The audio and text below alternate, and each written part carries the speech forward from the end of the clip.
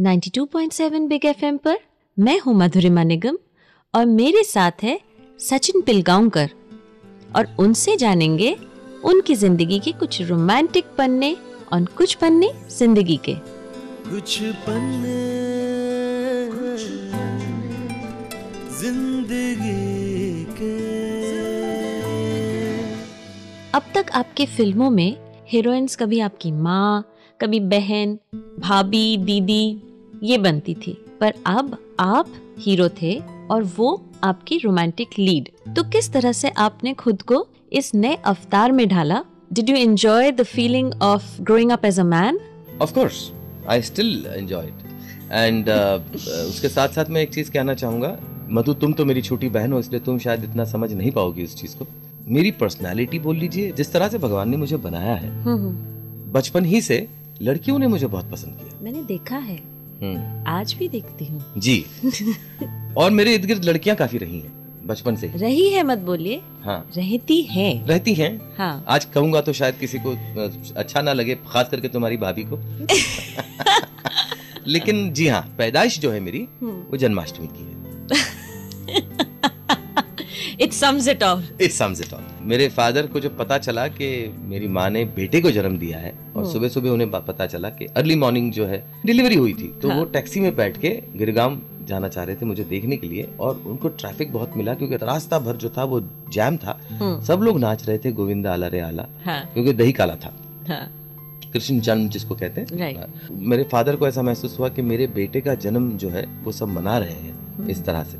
ये मेरी खुशकिस्मती है कि उन्होंने मेरा नाम गोविंदा नहीं रखा। सचिन रखा। बहरहाल मेरा जन्म जो है वो जन्माष्टमी का होने की वजह से गोपियाँ बहुत ज़्यादा रही हैं। हम्म। प्यार करने वाली गोपियाँ दिलो जान से प्यार करती हैं। इसी को आगे बढ़ाते हुए पूछूँगी कि जब दो खूबसूरत यंग इंडिविजुअल साथ में काम करते हैं जी। तो कुछ कुछ कुछ होना तो जायज़ भी बनता है। तो ऐसे कोई ऐसा उन दिनों का कोई रोमांटिक पन्ना काम करते वक्त किसी के साथ कुछ?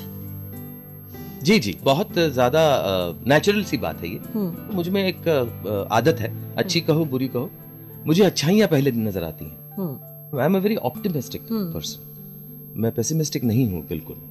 उस वक्त जितनी हीरोइंस के साथ में काम किया हम्म। सबके साथ बहुत अच्छा रैपो रहा बहुत अच्छा अ, क्या कहते हैं संतुलन रहा। हम्म। गिव एंड टेक बहुत अच्छा रहा। लेकिन एक ऐसी शख्स जिनका मैं नाम ज़रूर लेना चाहूँगा। जिनके साथ बहुत ही अलग किस्म का रैपो एक बहुत अलग किस्म का रिस्पेक्ट हम्म। जो अभी तक है। हम्म हम्म। और एक अलग किस्म का प्यार हुआ। उनका नाम है सारिका। आज भी हम दोनों को हम दोनों एक दूसरे को बहुत ज़्यादा रिस्पेक्ट करते हैं। ठीक है कुछ कुछ चीज़ें ज़िंदगी में होती हैं जो। नहीं बन पाती। लेकिन इसका मतलब ये नहीं कि हम उन खुशी के पलों को भूल जाएँ। हम उन पलों को भूल जाएँ जिसमें जिनमें हमने एक दूसरे का बहुत आदर किया हो। तुम्हारी समझ में आया? हाँ जी। तो वो चीज़ जो है वो कड़वाहट कभी नहीं लाती। हम्म हम्म। ना दिमाग में ना दिल में। दिल में। ज़्यादातर लोग इसी बात को समझ नहीं पाते हैं। जी और और ये बात तुम्हारी भाभी को भी बहुत अच्छी तरह पता है। हम्म। इसका खुलासा हम्म। मैंने अपनी किताब में भी किया है। हम्म। मैं समझता हूँ कि अगर कोई चीज़ खूबसूरत हो अगर कोई चीज़ अच्छी हो हम्म। तो उसे कहना या अपनाना हम्म। कोई बुरी बात नहीं है। हम्म, ये तो आपकी ऑनेस्टी है। यू बीइंग ट्रूथफुल हाँ और I am not guilty hmm. मैंने कोई खराब बात नहीं की। हम्म। या मैंने किसी सिचुएशन को खराब करने की कभी कोशिश ही नहीं की। हम्म। तो मैं क्यों ना कहूँ? You know you know understand what I am talking about तो वैसा है हम्म। जो उनके साथ महसूस हुआ था।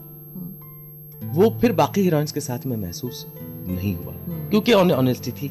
राइट लेकिन जब चीज़ें नहीं बनी तब उसको भी अपना लिया हम्म। कि नहीं बनी। दिल से निकली इन बातों को आगे बढ़ाते हुए सचिन जी से ही जानेंगे उनके दिल से जुड़े कुछ और रिश्तों को।